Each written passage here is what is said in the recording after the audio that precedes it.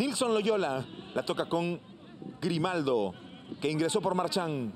Alejandro González, lo corre la bandera, la saca Alejandro González.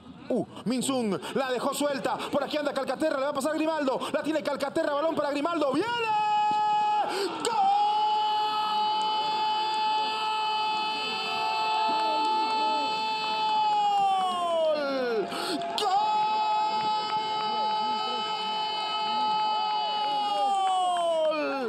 ¡De Sporting Cristal! No lo liquidaron a Cristal. Le quedaba algo en ataque. Y siempre va a llegar Grimaldo. Vino del banco el gol para el equipo de Mosquera. Joao Grimaldo decide bien, define bien y gana el Sporting Cristal 1 a 0.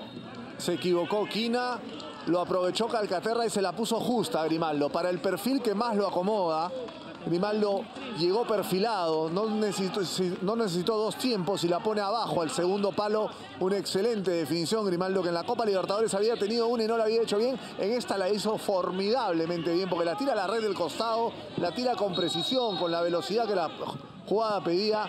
Los errores se pagan caros. Y había pifiado una hace un ratito Quina que no la había aprovechado Riquelme. Riquelme de todas maneras obliga. Calcaterra maneja los tiempos y Cristal. Creo en el segundo tiempo sin merecerlo, porque creo que el segundo tiempo de Ayacucho era mejor que el de Cristal.